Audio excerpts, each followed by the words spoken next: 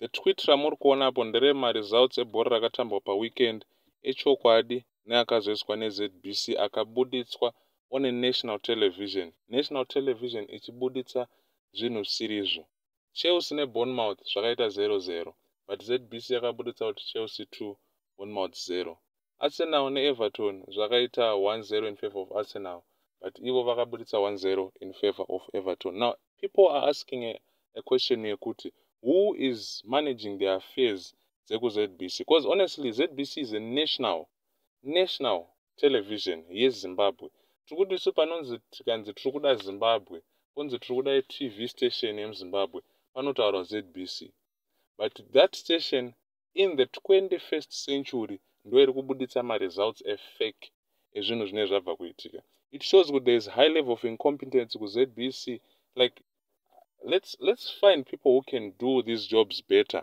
Because honestly kaza zvinongorova ndezvekuti dzango nyaya dzemalinks unozivani iwo shamwari unogona kubaya foni here chiuya utoshanda kuzbc nechichi thats what people are saying kuti recruitment dziri kuitwa kuzbc hadzinei nezvaunogona but dzinei nekuti unozivani because izvo zvinhu izvo zvodzingisa basa.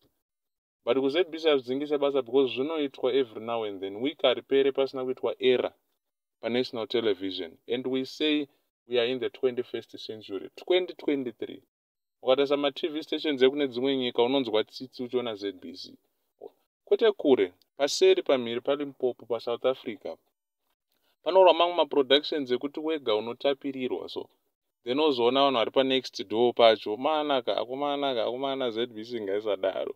This is a slap in the face ndokunonzi kuti sekesa nenyika funga kuti vapfana pane vapfana vanenge vaida ndokunzi vaida unoimpresa mabhebhi angozika nonzi kunyika kwake ndokwezbc zvatodhakwa keriya ndopera.